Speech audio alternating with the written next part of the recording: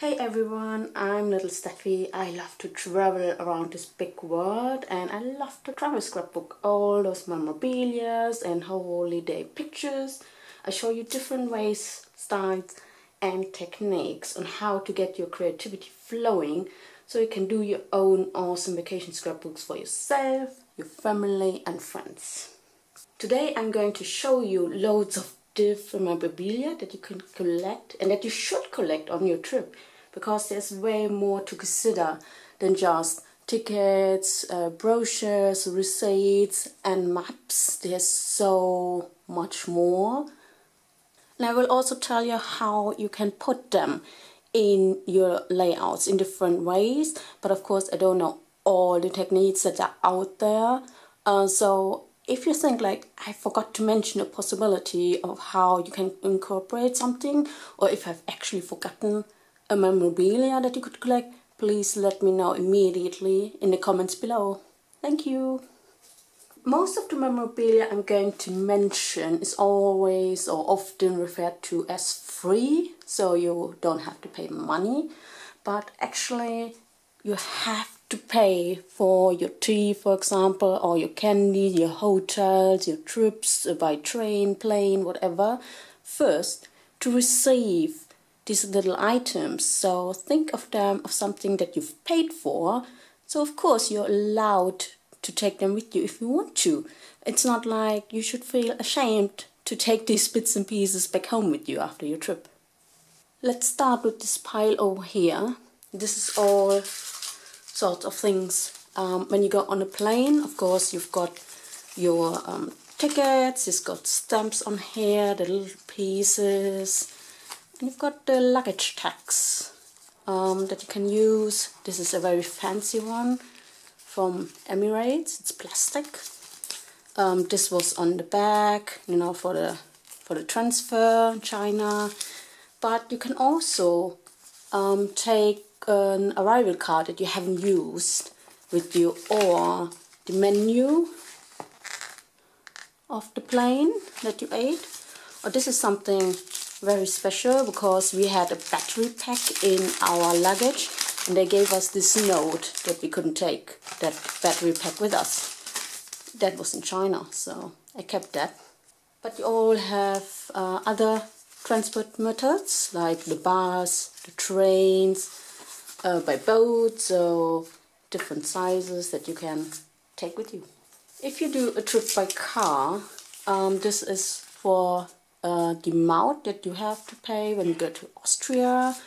This is a parking ticket. So this is a tip when you go to a country where you don't know the language. So where it is, it says parking, so I know it's a parking ticket and how much it was, but I didn't know where. So I put that post-it on there. Uh, so that's just a little tip. This is actually a penalty for wrong parking that I kept. So I will always remember this. Something strange. Or, for example, um, your rental car. This is something to keep as well. This pile over here is probably the most important one. This is all about uh, tickets, admissions, entrances to museums, temples, castles, churches, any shows, or um, like famous sites, city halls, tours, movies you've went to. And uh, this is pretty nice because you get a ribbon um, from the temple in Sri Lanka. And on some of them, like these in Thailand, you're allowed to put um, a stamp on there. So that's pretty cute. And of course receipts. So I put uh, the name of the city here as well. Uh, this is actually from a filling station. And then from our cash from the cash machines withdrawals from what we bought this is the receipt from a hotel. So there are loads and loads of receipts that you can collect throughout your journeys. But sometimes especially with this kind of paper the um, the prints will fade away after a while. So you have to keep it away from sunlight. And it's probably best not to glue it down on your pages but put you know like washi tape and uh, so you can actually remove it when it's completely just white and you think like that's not nice anymore. Or you could put them in a pocket.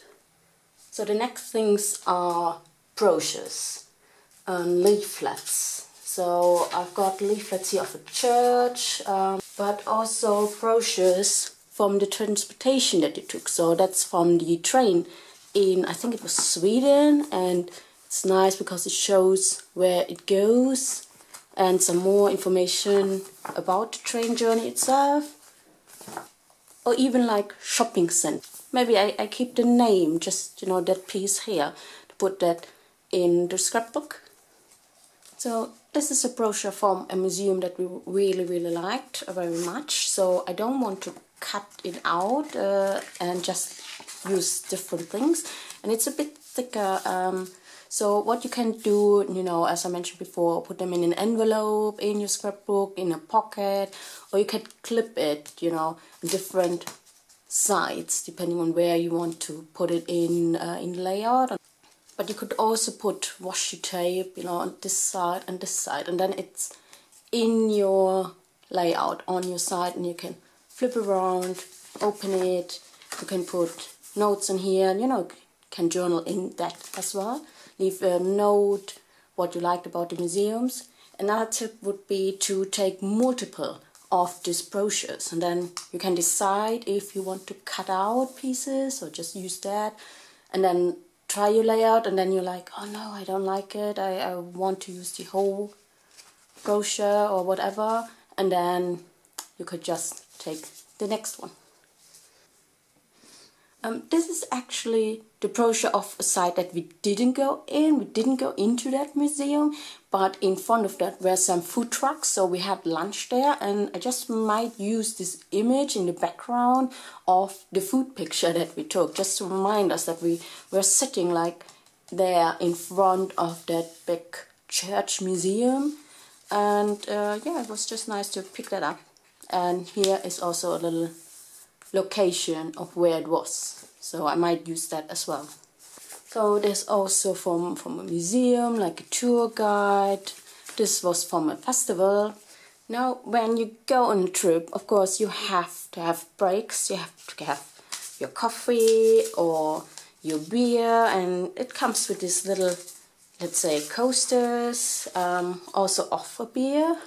You can take the caps with you. It's a bit hard to, to use them um, because if you use them upside down and screw them, you don't see the image. So you could hot glue them. If you use them inside the book, it gets pretty thick. So I'd rather use this on the cover. Or you can slip them again in an envelope or a pocket. Or with what I might do or what you could do with currencies as well these little pockets here.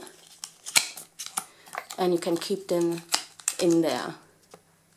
So same with currencies.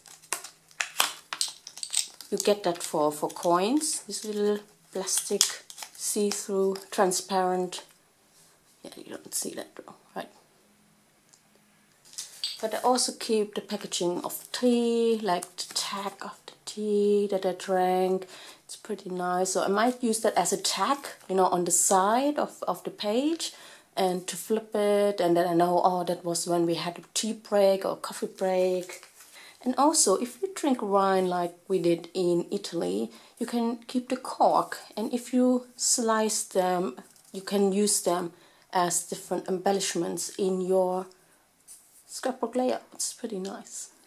One I will never forget, this is actually just a sugar bag, you know, I collect sugar bags all around but this was in Sri Lanka and when I said oh I'm gonna keep this for my travel scrapbook my mom said like no you can't keep that that's uh, that's crazy and because she said that I'm gonna remember exactly the location the situation um, where we had that tea break and this is definitely going in my Sri Lanka project because of that. When you go to the beach you can have seashells but you have to be careful with endangered species and this is actually just an example. It's way too big to use in a scrapbook but maybe you guys use them as well on like the cover but you always have like smaller shells and you can collect sand and you keep them in a zip bag um, I don't collect sand even when I go to the beach but I link some to another video of someone I forgot the name. She used her fuse tool and made a shaker card and put sand in that and on the cover of her album to Lanzarote, I think it was the Lanzarote trip. It's really nice, so check that out. I'm gonna put it in the description. So when you go to a restaurant, they have sometimes really nice tissues, mini cards. I love mini cards whenever I see them, I have to go through them. And these are, you know, you get them from the sites that you can go to museums, national galleries, the famous sites. But this from uh, Stockholm, I thought because they they had special like about the bridges and the old town, and also some facts about Sweden and Stockholm. So they come with this little holes. You can use them as tags as well, and with the location where it is. So I'm going to make a thread through there, use them as a tag, and then you can flip it around. It's really nice. Or just put them in an envelope sticking out, and you just see old time Gamla Stan, and then you can take it out and have a read. Now bags as well. You can uh, collect different kind of bags uh, during your journey. This was a little bag that we got in Thailand. We bought a little magnet souvenir and it came in this transparent bag and I thought that's too cool I, to miss so I'm gonna take this with me. And these are actually sick bags you know the bags you get on the plane in case you get sick this is from SAS Eurowings and yeah, it's a bit strange maybe but as I said you pay to be on that plane and they have tons of that so if you take them that's this this pure color I really like it so I might cover this up and put something there, you know, and then you can slip in things. It's pretty cool in layouts. Also, you know, food bags, it was for, for the cookies at Subway. Or this in Florence in Italy. We had some really cool paninis there. This is what the gift bag that we got um, when we went to Pisa to visit my friends. And this is pretty sturdy, this is really nice from, from a tea plantation in Sri Lanka. So we, the tea that we bought or that we got was in there. So you might even smell of tea, so that's cool. And that's a pretty big bag. Yeah, I might cut just an image out or, you know, that part over here. But I can also take out the ribbons and use that in different ways.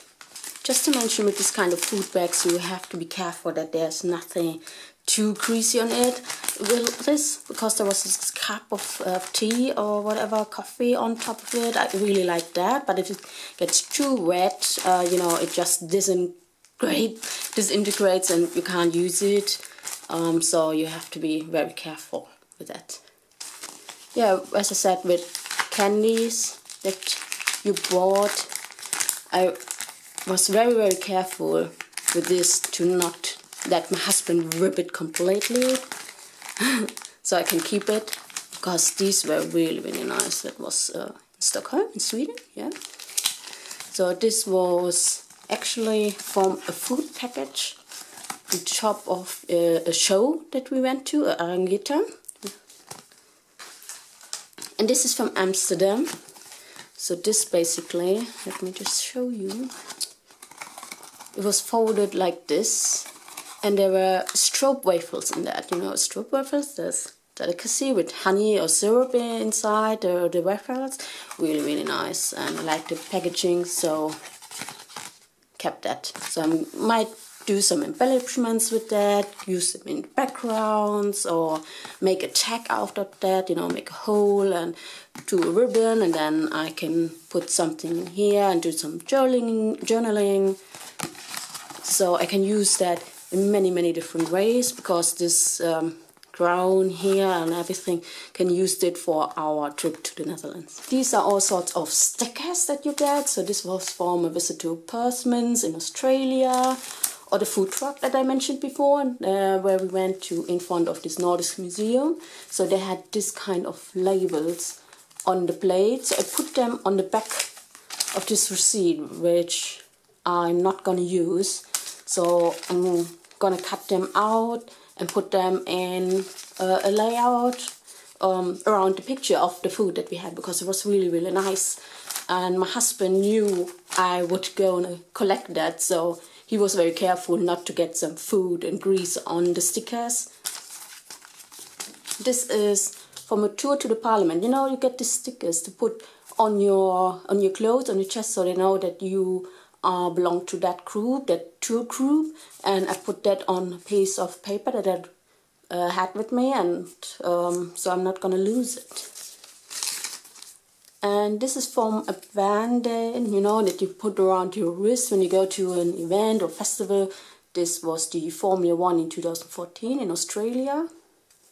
I'm just showing you this so you you you just get the sense of what you can collect because sometimes we just see this but we don't notice. We don't see the full potential that we can use them in our travel scrapbooks. And when you take them into your hand or if you see it like memories coming back. So for example this is pretty obvious uh, in my opinion. Uh, this is the like not the ticket but the clip that you had to put on and then the staff of the museum would know yeah you you've paid so you're allowed to go through the exhibitions and you were allowed to keep them. So this was for my daughter and this is for the adult ones. So i think this is pretty obvious that you you can use them in in a very funny way to to clip it to your pictures on on your side or make a cluster in in in a part of your layouts business cards um, from the food truck. Oh, I really love that food. Um, from Riyadh, of course, from the hotels that you stay in, from restaurants that you've been to. Oh, this was pretty cool. Uh, just a shop that we went through and which we, we liked in Amsterdam. So they have their own business cards as well.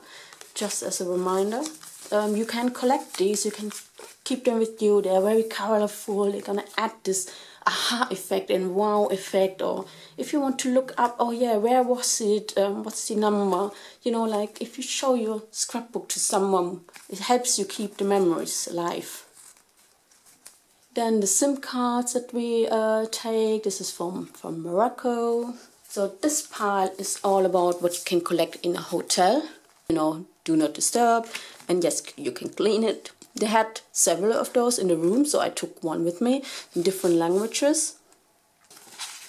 Also, they have, you know, hotels have their own stationery. Uh, I might just cover this and use the background, this, this frame here, this border. They've got um, business cards as well, the hotel key folder, and I can put uh, like a journaling card in here uh, so you can take it out. It's going to be interactive in your scrapbook or they have these little tissues so this is just for backgrounds maybe to give some more texture to your layouts. This was from a key card, you know, like like this, but it broke. It was from made of, of paper and it broke, so I took just this little piece here and I thought, oh, if I have a picture of, let's say, my daughter sleeping and then I'm going to put this next to that. You know, please do not disturb. We, we want our daughter to sleep as much as possible. This is something really uncommon, and actually, my husband pointed out uh, to me that we could use that, or I could use that in a scrapbook. So, this is from the train trip that we took from. Um, uh, where was it? North North Germany to Denmark, and this is you know the headrest and you can take it up um, because our daughter was playing with it and my husband was like oh that's pretty cute you know it shows that we are in the in the family section of the train and since then i took from every train trip and even with um, like planes they have this like where your headrest you can take that it's nice. So i'm gonna use this as a divider between the cities. Like I'm gonna do our first stop and then use this like oh you can open this. Uh, this is the next city that's coming. And this is probably one of the most important things. Like maps maps of the city that you are in. In different ways you get them from your hotel or from like tourist information or your specific car um, maps. Like this is from all the museums of Stockholm. And I always take multiple multiple maps, not only different maps of the same city, like these three, or yeah, I've got uh, this from Stockholm, I've got this from Stockholm, and some more um, because they have different different color schemes and different points. But I also like, for example, with this map here, uh, I would take like two or three of these. Like this is the one we used while we were on the go. It's pretty used and it's already going around the edges.